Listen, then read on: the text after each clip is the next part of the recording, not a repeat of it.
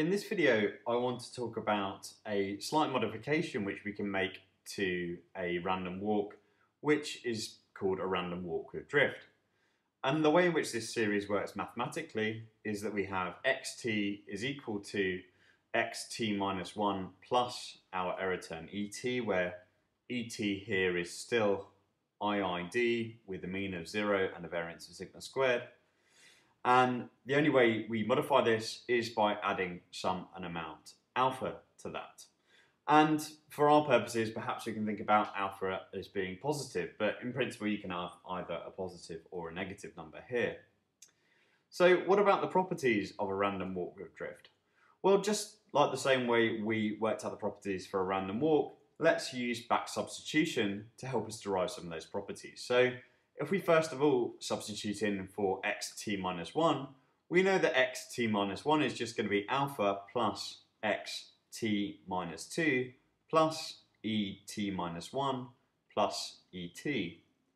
Okay, and if we were to go again, we could have that that would be equal to alpha plus alpha, and then substituting in for xt minus 2, we would then from that term get another alpha plus xt minus 3 plus et minus 2 plus et minus 1 plus et.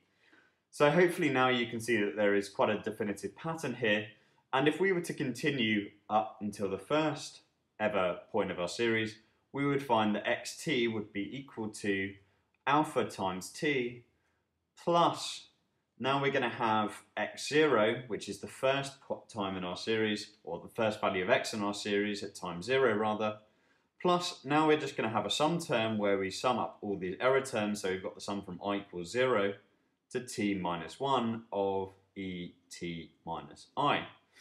Okay, so this is a way of decomposing xt into its various um, error terms and its initial value of xt, which is x0. So what do the mean and the variance of this particular process look like? Well, if we take the mean of this process, we have that the expectation of xt is just going to be equal to, well, this first term here is just deterministic, it's just going to be alpha t. And if we assume that the expectation of x0 is 0 or x0 is fixed at 0, then that term doesn't contribute anything, so we can, can forget about that. And the expectations operator just comes out with 0 for this last term because each of these error terms on their own are 0.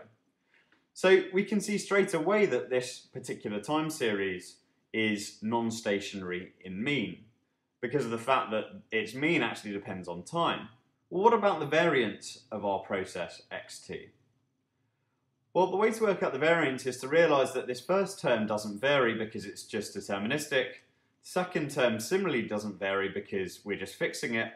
The only term which contributes variance is actually this term which I've crossed out here, which is this sum of the error term here. So the variance of xt is equal to the sum from i equals 0 to t minus 1 times the variance of et minus i. And the reason I haven't got any cross terms in here is because of the fact that our errors are independent of one another. And if we were to write out this sum in full, we could see that there would actually be t um, variances. So we just have t times the variance of et minus i, which is t times sigma squared. So it's quite obvious to see that not only is the mean non-stationary, also its variance is non-stationary. So this is very much a non-stationary time series. So how would this time series look if we were to draw a graph of it? So if on the horizontal axis we have t and on the vertical we have xt, then we could sort of think about our process. This would be the line xt equals alpha t might look something like that. So that's just a deterministic trend which I'm using to draw this graph. So this is just x equals alpha times time because we know that the mean is always going to be around that sort of value. But our process, what it will look like is it would have some sort of runs of going above that and then it would go below that and then it might continue something like that. So that would be a realization of a particular random walk with drift, and notice that the meaning behind drift becomes quite apparent once I graph it. Essentially, this alpha term here determines the fact that this series tends to drift upwards. it doesn't stay around zero like the other sorts of random walk did, or it didn't even cross zero like the other random walks did, rather.